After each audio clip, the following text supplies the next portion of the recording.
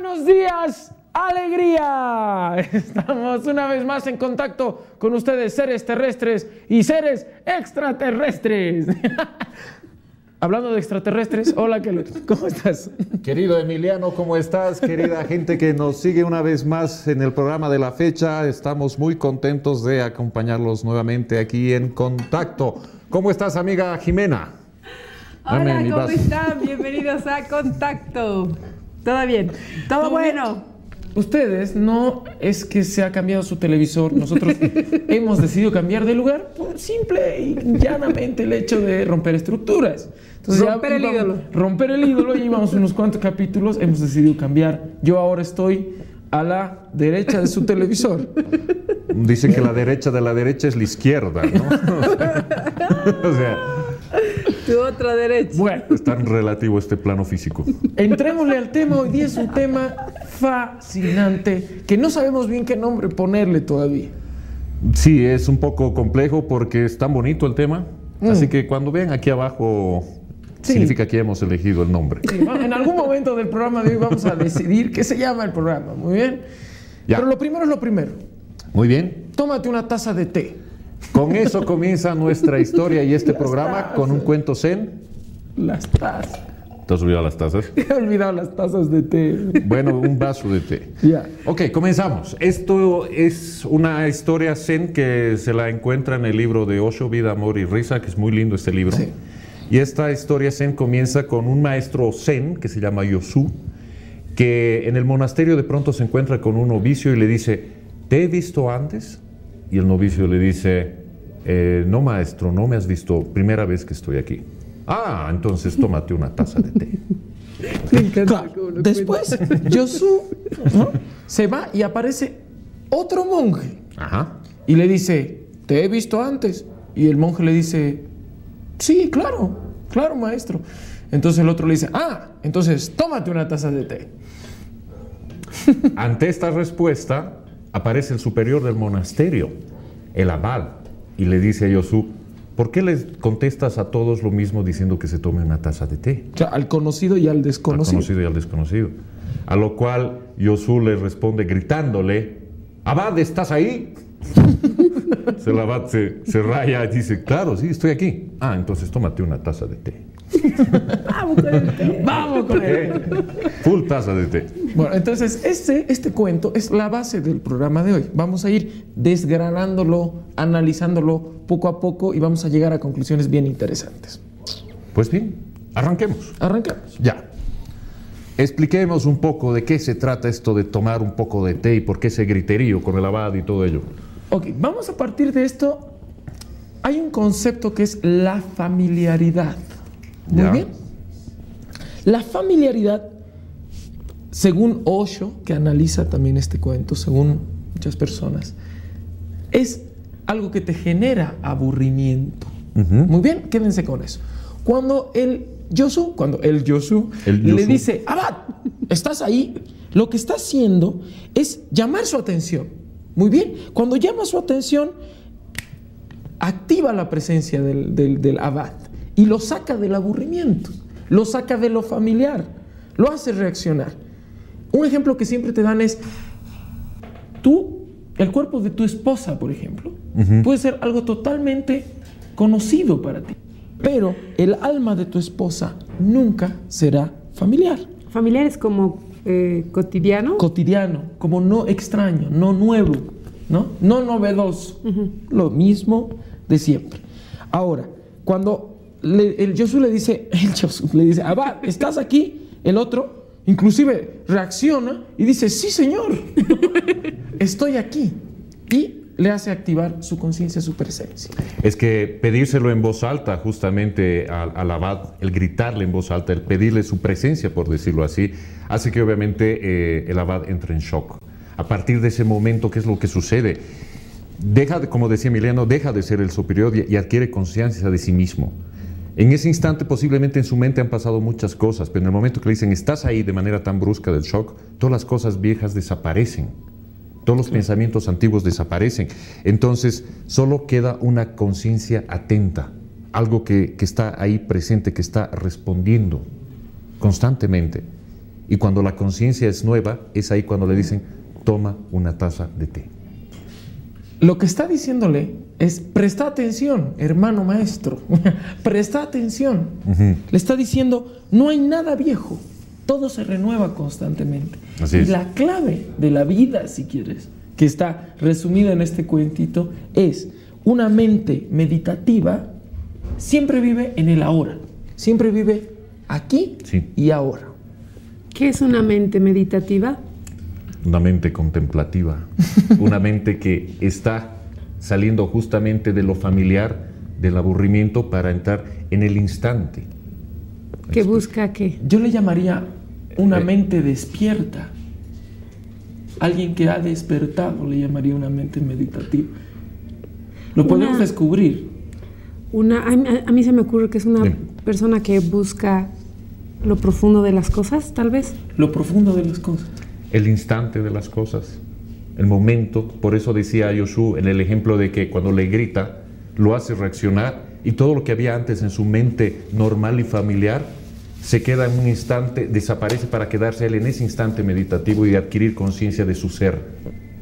A eso me refiero. Es darte cuenta del aquí y el ahora, el instante que estás viviendo. Sí, sí, sí, Eso es vivir meditativo. muy bien. ¿Ah? Y justamente este cuento de Yoshua es bonito cuando lo analizas en, profundidad, más que analizarlo, lo sientes. Claro. Lo, lo, vives, ¿no? Y te das cuenta de que tiene muchas otras acepciones conceptuales, por decirlo así. De esa manera, cuando te das cuenta de ese momento, de ese instante, es en el que de pronto mucha gente va donde un iluminado a pedirle toda clase de consejos. Pero no importa cuál fuere la situación de esta persona, el iluminado siempre le va a contestar lo mismo. Tómate una taza de té. Ahora, ¿por qué una taza de té? Podría ser un vaso de agua, ¿no? ¿por qué una taza de té? Hablando del vaso de agua. Hablando del vaso de agua. Para los maestros zen, esto es algo muy, muy importante, muy, muy sagrado, es un ritual muy grande. ¿no? Es que el té fue descubierto precisamente por los eh, maestros zen y para ellos el té evidentemente no es algo ordinario, es cada monasterio tiene su templo del té, por decirlo así, su sala del té, su sala de, esta meditación. ¿No? El té es un asunto tremendamente religioso para ellos, es casi como orar ¿no? Así como de este lado lo que es la oración para ellos es eso, ¿no? Tienen un lugar especial y bueno, ellos lo descubrieron, ¿no? Hay un monasterio chino que de ahí, de ahí viene, que se llamaba Ta. Ta. Y ahí descubrieron el té. Justamente cuando descubrieron que el té te mantiene en un estado de alerta, es que puedes entrar a meditar. ¿Ya? Porque es, es, es imposible que después de tomarte un té, eh, te vayas a dormir porque estás en un estado de alerta. ¿no? Bueno, no es imposible, pero es más fácil que estés en un estado de alerta antes de irte a dormir. Claro, descubrieron que el té te mantiene la, atención, te ayuda a, concentrar la conciencia, o sea, mediante esto, ¿no? De modo que en un monasterio zen es parte de la meditación. Por eso cuando, cuando Yosu te dice, tómate una taza de té. De aquí viene, ¿qué es? Aquí viene la clave que es, tómate una taza de conciencia. Tómate esa taza de conciencia y no estás tomando esa taza de conciencia, ve, pon el agua, calienta el agua para un tecito, porque nos vamos a ir a un corte y de ahí seguimos tomando esa taza de té. Y continuamos en contacto en este su segundo bloque de este programa de la fecha. Estamos hablando de, estábamos hablando de Yoshu y de aquello de tómate una taza de té. Por eso nosotros decíamos, este programa, ¿qué se va a llamar? ¿La taza de té la, taza de té. La conciencia. La taza de té. taza de té. Bueno, ahorita va a aparecer. Acá abajo. Decíamos que el té es muy simbólico para los que practican el Zen. Totalmente simbólico. Por eso cuando, cuando tú hablas, decíamos en el anterior bloque, con un ser iluminado, ¿qué es lo que más te puede ofrecer, salvo que te tomes una taza de té, una taza de conciencia, una taza de ese instante? Claro, ¿qué más te puede ofrecer Buda que no sea tómate una taza de té. No sé qué más valioso que eso. Por eso en los monasterios siempre, siempre hay una habitación para tomar el té, siempre. En un templo, que es el lugar más sagrado, ni siquiera puedes entrar con zapatos. Inclusive no sin antes bañarte. y ni siquiera, este, o sea, tienes que tener mucha, eh, muy, muy en cuenta que el té significa conciencia, ¿ya? Y el ritual de tomar el té equivale a orar. Claro, por eso la gente entra en silencio, se haga los zapatos, se sienta. Y algo que para nosotros es así, para ellos es gigante, porque escuchan, se sientan y empiezan a escuchar lo que hierve el agua. Para ellos es como una melodía diferente cada vez. Imagina. Sí. Posiblemente te preguntarás, cuando tú le preguntas a, un, maestro zen esto de servir el té, te va a decir, no es algo común, no es algo que tú lo tomes como cualquier bebida. Para nada. O sea, es más, el té no es cualquier bebida para un maestro zen. Ya es meditación, es oración. Desde el momento que se pone la tetera, empieza a hervir el, el agua, escuchar eso ya es entrar en estado meditativo. Hay otra cosa que a mí me pareció pero fascinante. Y es que no solo están escuchando, sino que aparte van y empiezan a tocar las tazas. Sí, están más atentos. Tocan la taza. Y ninguna taza es igual a otra, ninguna. Porque van al mercado, compran su taza y la rompen. y luego la cuelan, ¿no? Enterita. Entonces es imposible que una taza sea igual a otra. O sea, hasta ese extremo, ¿no? Por eso un ritual que para nosotros dura 15 minutos, entras, te sales y te vas, para ellos, nada. Para ellos son horas. ¿no? Son un par de horas, o sea, la ceremonia es, un, buen par de horas. Pero la taza, lo que hablaba Emiliano de que eso de que la rompen y la vuelven a colar, la taza representa el cuerpo. O sea, ponte a pensar mm, lo que es romperte y volverte a estructurar, volverte a unir desde otra manera. El té, como te decía, la taza representa el cuerpo. Si el té representa la taza, ¿qué representa el té? O sea, la taza, el cuerpo. El té, la conciencia. ¿El aroma? Es como decir la esencia de la conciencia. En el momento que estás más atento, estás meditativo, estás oliendo, estás sintiendo el aroma, estás entrando en un estado de meditación. Se percibe el aroma, se percibe el olor. Ahora, vemos qué es lo que han hecho nuestros queridos monasterios Zen. Han agarrado algo que es tan tradicional y ordinario para tan trivial. tan trivial, y lo han vuelto en algo sagrado casi. Algo que duraba, que para nosotros dura 15 minutos, llegas, creo que ni siquiera agradeces, te vale madres. lo, lo han ampliado, ¿no? Y esto dura horas, es todo un proceso, ¿no? Entonces, cuando tú tomas la taza de té, te estás volviendo en un ser atento, en un ser consciente. Además que en un, en un templo zen no es el sirviente el que te sirve la taza de té, sino el maestro. Porque eh, te comentan de que si, si es el sirviente el que te sirve, posiblemente te sea familiar y lo dejes al olvido, ¿no? No le prestes atención. Pero si es el maestro, ya observas, y entras en un estado de alerta, un estado de atención, un estado meditativo. Ves lo que el maestro está sirviendo la taza, está acomodando los utensilios y tú estás ahí súper Nunca va a ser igual. Imagínate que venga el maestro Jesús y te sirva un té Vas a tomar, gracias Jesús, te vas a ir como vas en tu casa. no puedes hacer ¿Para qué vas a charlando con tu marraqueta y tu queso ahí? Claro, así, chao Jesús. No, pues es todo, es toda una cosa maravillosa, gigante. Pero tenemos que darnos cuenta de que la taza de té que Yosu le ofrece es una excusa, ¿no? Lo que realmente te está diciendo es, tómate una taza de conciencia o ven y relájate, men. Definitivamente es unir eso trivial que mencionamos hace ah. un ratito con algo verdaderamente importante, es convertir lo extraordinario, o sea, lo ordinario en extraordinario. Cuando el, el Zen te dice que solo si tu vida corriente se vuelve extraordinaria, se vuelve espiritual. Ah, recién ahí. Recién ahí, o sea, en el momento de que conviertes lo que, no te era lo que te era familiar, pero en algo extraordinario, es el momento en que es ahí donde Yosu te dice, ven y tómate una taza de té. Si algo tan trivial, tan trivial como tomar una taza de té se puede volver algo sagrado, ¿qué otras cosas más? De todo podríamos hacer un, ritual. ¿no? ¿Sabes que yo estaba pensando y me ha notado aquí mi chanchullo? A ver. Que tal vez el, hecho de la taza de té es como estar atento, alerta, para descubrir lo extraordinario en lo cotidiano. Y hay un ejemplo bien bonito que, que yo lo he ilustrado de esta manera, que nos dio una gran amiga y es el siguiente. Tú prestas atención de las cosas cuando entras en conciencia de ellas.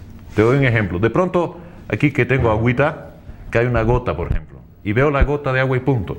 Pero si pusiera la gota en un microscopio, vería la cantidad de vida que hay adentro. Solo cuando ves esa gota de agua a través de un microscopio te fascinas de, de, tantas cosas que hay dentro de una gota de agua. Y en ese momento que lo estás viendo por microscopio, en ese momento estás entrando en conciencia. En ese momento has visto algo tan, tan trivial, por decirlo así, como una gota de agua, lo conviertes en algo extraordinario. Solo cuando, por ejemplo, eres consciente de algo tan, tan rutinario como tu respiración, recién empiezas a conocerte un poquito. Mm. Recién puedes entrar un poco a lo eterno, un poco a lo infinito, disfrutar eso. Y así con la respiración, así con todo, ¿no? Cuando entras en ese estado, la música, las hojas, el río, cuando aprecias todo eso, lo que vas a encontrar en realidad es el sentido y no el significado de las cosas.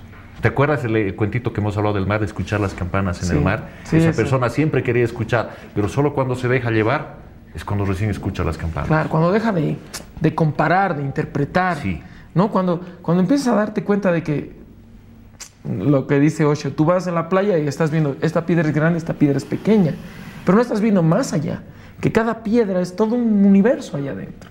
Así como tú eres un universo, complicado universo. Cancelado por amor. Cancelado igual yo, igual todos, ¿no? Somos, tenemos miles, miles, miles de cosas internamente, millones. Así, a la vez, un grano de arena es tan complicado como nosotros y tan maravilloso también. Entonces, es como romper un poco tus estructuras y darte cuenta y entrar en conciencia en dónde estás.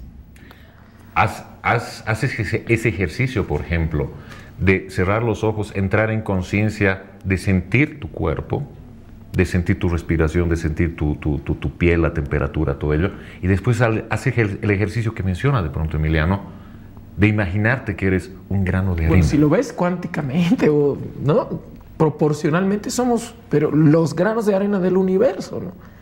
Grano de arena. Claro. Pero las grandes cosas siempre se han construido con granos de arena.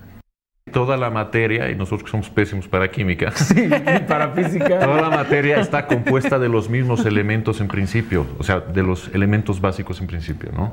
Entonces no hay mucha, o sea, la diferencia de qué está constituido un animal o un árbol y, y tú es el orden, llamémoslo, de los elementos. Así que tómate una taza de té mientras volvemos, cierra los ojos y conviértete en un grano de arena. Hola, estamos de vuelta aquí en contacto. Hoy estamos hablando de tomarse una taza de conciencia. Lindo tema. Muy bien, Jimena. Estamos hoy día hablando de no olvidarnos de nosotros mismos, de entrar en conciencia de quiénes somos y de ¿Qué somos? Por eso nos estresamos. Por eso a veces cosas que son insignificantes nos afectan o cosas que son muy grandes no podemos afrontarlas. Muy bien, por eso te hemos pedido que en el programa de hoy te tomes una taza de té. O sea, tómate una taza de conciencia. Cuando eres consciente, por ejemplo, como un, eximio violinista, el de los más capos, de los más talentosos, mm. tiene que practicar mucho diariamente, hora tras hora, arduamente para poder llegar a ser quien es. De la misma manera, un deportista, si quiere ser un excelente deportista, tampoco va a entrenar media hora a la semana. ¿No es cierto? Entonces, si tú pretendes ser una persona espiritualista que busca ese estado de conciencia de ese minuto, no se trata tampoco que visites una vez a la semana una iglesia. Claro. Wolfgang, ¿estás ahí? Sí, estoy. Muy bien. Cuando Jesús decía, hablaba y le decía al abad, le decía, ¿estás ahí? Era para que él se dé cuenta de que estaba ahí. Y si nosotros queremos darnos cuenta de que estamos aquí, entonces no basta, y a mí me pasa, hermano, hermana, no estoy diciéndote sin saber, a mí me pasa. No alcanza con 10 minutos de meditación al día, o mm. alguna que otra vez sentarte a meditar, o ir, como dice Wolfgang, a una iglesia, o orar de vez en cuando. Realmente si queremos darnos cuenta de que estamos aquí, es trabajo, es meterle con todo. Entrar en conciencia es estar, es percibir el tiempo a cada instante, por decirlo así. Estar es, es darte cuenta cuál, cuál es el objetivo de tu estancia en este planeta. Es salirte de la matriz, para quienes han visto la película una vez más. Y la matriz. Sí. Porque es estar en cada, ese, ese estar en cada instante totalmente consciente, eso es lo que te da el equilibrio en tu vida espiritualista, en tu vida obviamente social, en tu vida del día a día. ¿no? Algo que a mí me parece dificilísimo, A ver, que tal vez para muchas personas es re sencillo. Es algo que te dicen en esto de tomarse la taza de té, que es olvídate de los días de la semana. sí. No hay mañana, no hay ayer, hay ahorita. Enfócate, concéntrate, vas a ser mucho más feliz, vas a ser mucho más efectivo. Sé consciente de que vives hoy. Decía, ¿no? Hay dos días en la semana de los cuales hay que olvidarse. Ayer y mañana. Ayer y mañana no existe. Sí, para nada. Y lo, lo que tú mencionas de, de vivir en este momento, de, de dejar eso del tiempo atrás, inclusive dejar el antes y el después, vivir el constante, constante ahora. Y así recién vas a empezar a, a comprender que existe lo extraordinario en lo ordinario. Solo de esa manera, adquiriendo esa conciencia, te vas a dar cuenta de cómo cosas tan comunes pueden ser tan extraordinarias. Bueno, y las hay, ¿no? las hay definitivamente, sobre todo cuando te das cuenta de ese instante. Jimena me contó la otra vez algo bien lindo, que para mí es uno de los mejores ejemplos de cómo es entrar en conciencia y darte cuenta de lo extraordinario y lo ordinario. ¿Nos puedes comentar, querida Les amiga? puedo comentar. A ver, La otra vez me han invitado al lanzamiento de un libro. Yo no conocía a la autora del libro y era un poco raro para mí estar en este lanzamiento, entonces era una cosa más institucional. He ido al lanzamiento del libro y cuando estaba ahí digo, "Pucha, ¿qué hago aquí? ¿No? Y de pronto me he dado cuenta de que era un momento sumamente especial para la autora del libro. Era un momento realmente de, de realización, un sueño conseguido. Por más que a vos te aburría. Y además yo no sabía de qué iba el libro, no la conocía a ella, o sea, ya te quería decir. Claro, estaba así como, bueno, ya, digamos, ¿no? Pero después me da cuenta que era un momento muy importante para alguien que no conozco, que no es mi amiga, que no tengo ningún lazo, pero era un momento importante para alguien. Y entonces he encontrado este momento eh, extraordinario en una cosa cotidiana, que a lo mejor no es muy cotidiano un lanzamiento de un libro, pero Desde ahí en adelante ya lo has disfrutado. era diferente, claro, totalmente diferente. Tú sabes que a mí me ha pasado algo. Todo este tiempo he estado remodelando en mi casa. Y la cosa es que un día, el domingo entero, lo dediqué a pintar una pared. Solito, ¿no? Entonces, al principio, La a gran a pared. la una de la tarde, emocionado, empiezo a pintar. Seis horas después. ya no sabía qué hacer, ¿no? Y me quedaba todo un pedazo de pared.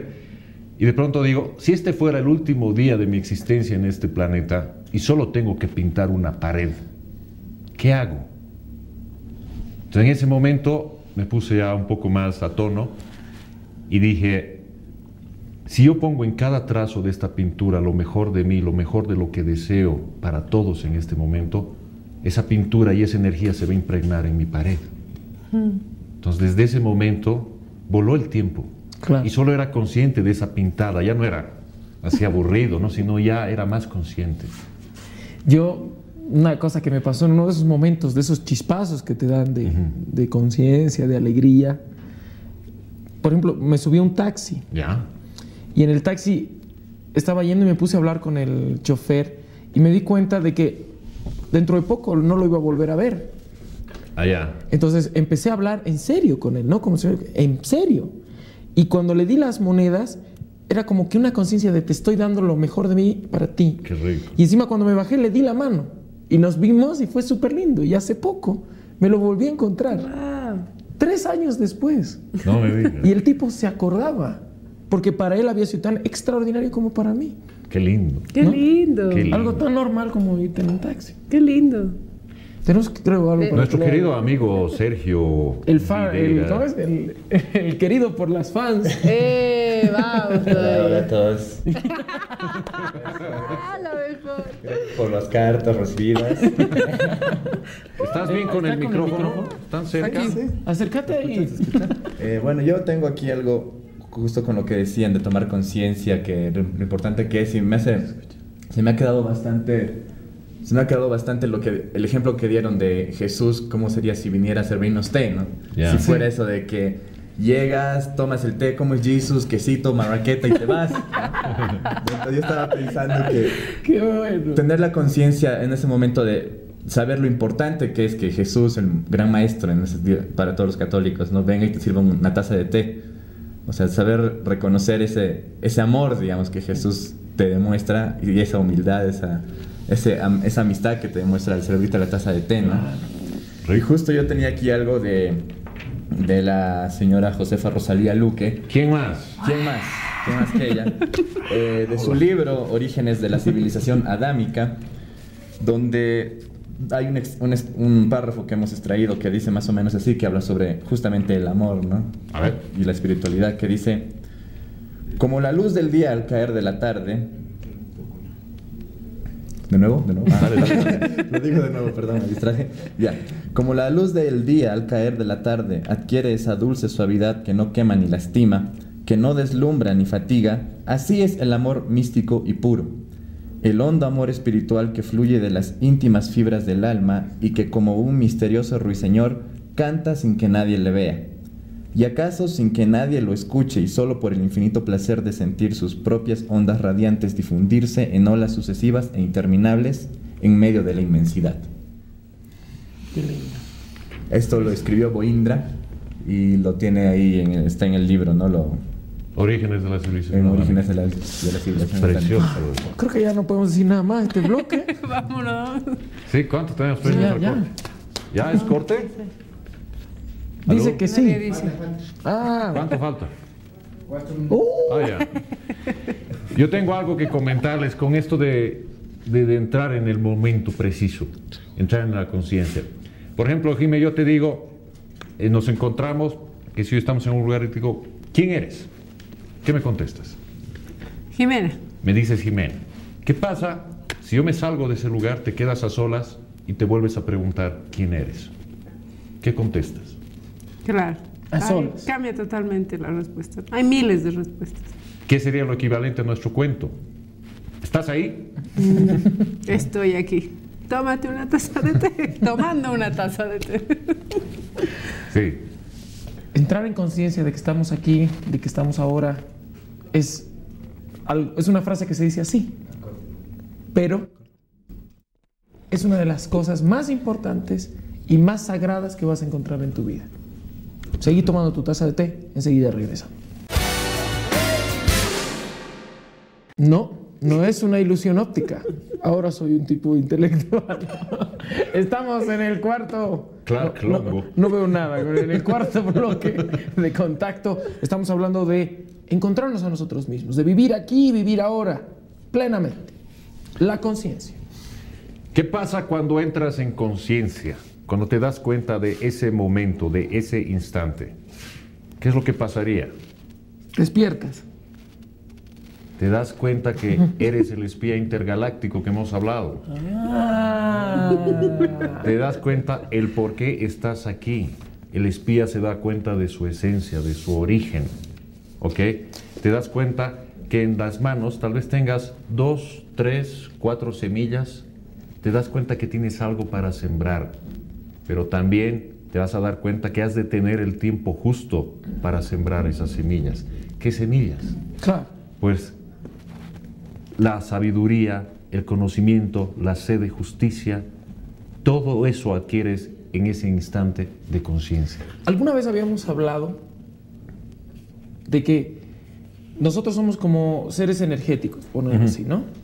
Y cuando no estamos situados, e- enchufados al hoy, digamos, a la corriente 220 del presente, del instante, Bien raro tu enchufe en la del instante, no sé cómo Eh, peor, peor, del instante. Eh, Entonces es como que perdemos energía porque estamos enchufados hacia allá, digamos, hacia el pasado, y estamos enchufados hacia el futuro. Así es. ¿Qué fue todo lo que pasó? ¿Qué será lo que va a pasar?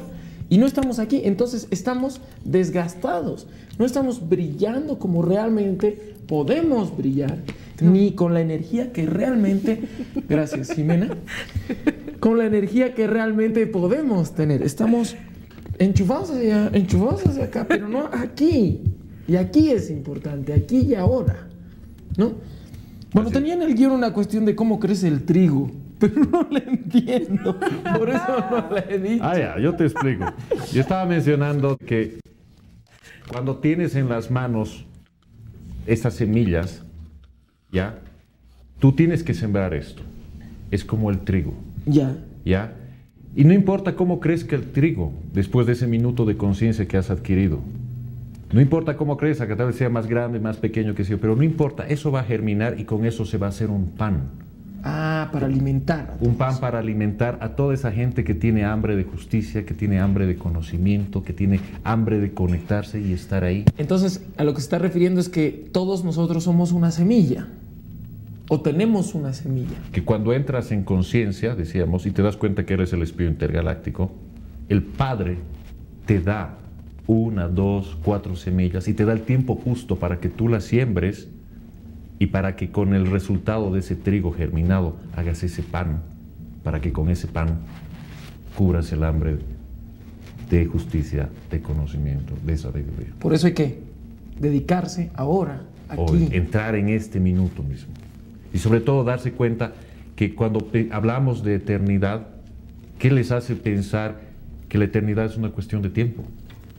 Claro, O que el infinito es una cuestión de distancia. claro, despacio. Es aquí y ahora, en este instante. En este instante tienes esas semillas para dar, para sembrar, para poder hacerlo. Muy bien, Wolfgang. Muy bien. Oigan, yo he escuchado una cosa maravillosa de una, de una amiga, maravillosa también, que tal vez va relacionado con esto de descubrir lo extraordinario en, en lo cotidiano. Ella ya decía, cuando ustedes caminen, cuando ustedes caminan, ¿están sintiendo la planta de sus pies al caminar? Ujú. O sea, este, darte cuenta, ¿realmente estás ahí? Sí. ¿no? Y es un buen Qué ejercicio fantástico. a lo mejor, ¿no? Y empezar a sentir tu cuerpo cuando caminas, empezar a sentir tu respiración o... Cierto, ahorita has dicho respiración y recién me he dado cuenta cómo estoy respirando. Recién he entrado en conciencia. ¿Estás ahí? Estoy aquí. Eh, Y voy a hacer eso, voy a hacer eso con mi taza en mi casa. Muchas madres me van a ¿Pero voy a hacerlo, voy a romper para que cada vez que tome té me acuerde que estoy tomando en una taza única, que es un momento único y que es algo especial y sagrado. Por eso has roto todas las tazas de la oficina. Pero ni una he colado. No he colado ni una. Bueno, vamos a mostrar librito. pásame mi pizarra y te doy tu libro. Bueno, mientras pasan los libros, yo voy a mostrar este. Voy a acomodar. Aquí tengo algo que les voy a leer despuesito, mientras llega después a San. Este libro es Los Maestros Llave de Oro. Ya no voy a decir de quién es. Porque es obvio. La famosísima. Ok, está charoleando. Ahí está. Charoleando para quienes nos escuchan en radio y en internet es de que el libro produce brillo, un reflejo. A mí, este libro, ¿cuántas veces me habrá dado grandes respuestas? Es hermoso. Porque lo abres y hay ciertos mensajes tan preciosos. Yo tengo uno aquí mismo. ¿Quieres que te lo diga? Ya. Y- No, antes de que venga Arturo Sana y nos quite tiempo. Dale, dale, dale. Ya. Dice así. Sentir a Dios dentro de vosotros mismos es ese tesoro escondido, esa bienaventuranza suprema a la que podemos llegar aún dentro de la oscura cárcel de la materia, de la taza. Maestro, ¿cómo hemos de hacer para sentir la grandeza de Dios dentro de cada uno de nosotros? Siento que me estáis preguntando con el pensamiento y con el hondo anhelo de vuestros corazones. Os digo, aquellos de vosotros que buscáis con desmedido afán las cosas materiales y los bienes fugaces de la tierra, no podréis sentir la grandeza del Padre dentro de vosotros mismos, porque llenáis de vuestra alma de otras grandezas y de otros deseos que nunca os darán la dicha ni la paz.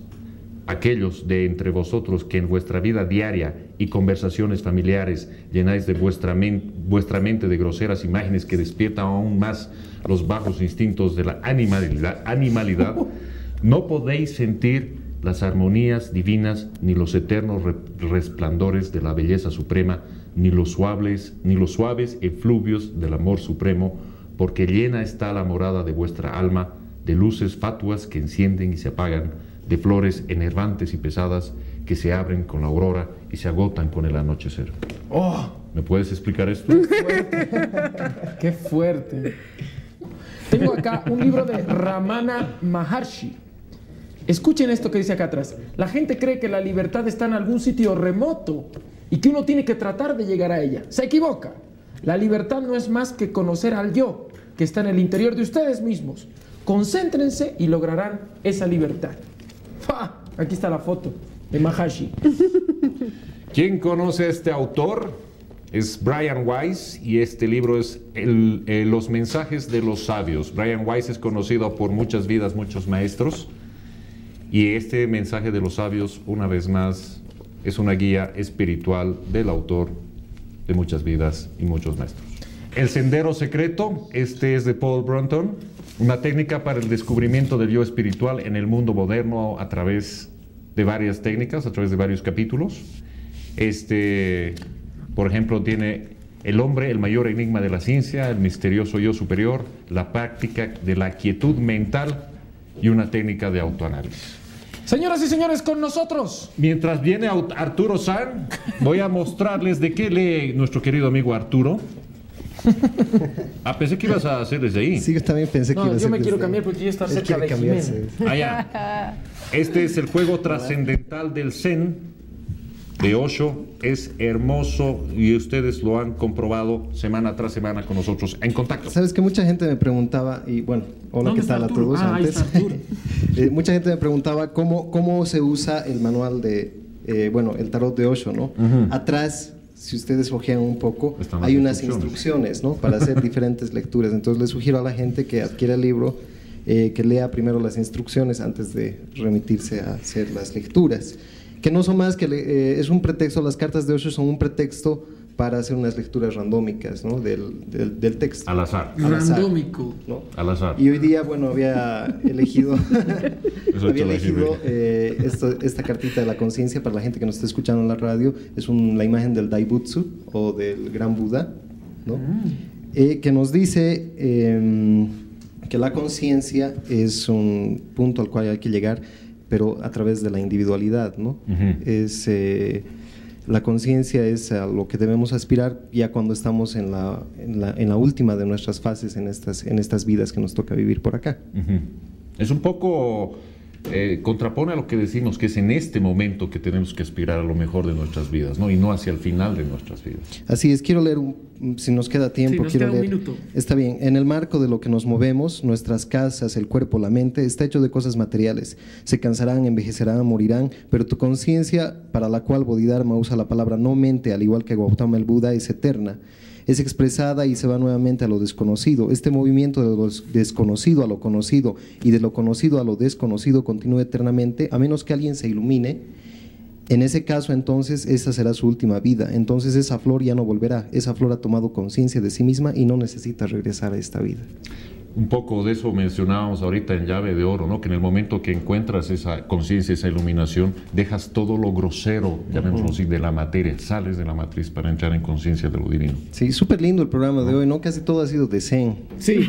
No me han dado tiempo Para para, el final. Como siempre. Tómate una taza de té. Sí, hermano. Voy a hacer mi propio Bueno, programa de Se zen. acabó el programa. Muchas gracias a todos. Nos vemos. Robando cámara semana. para variar.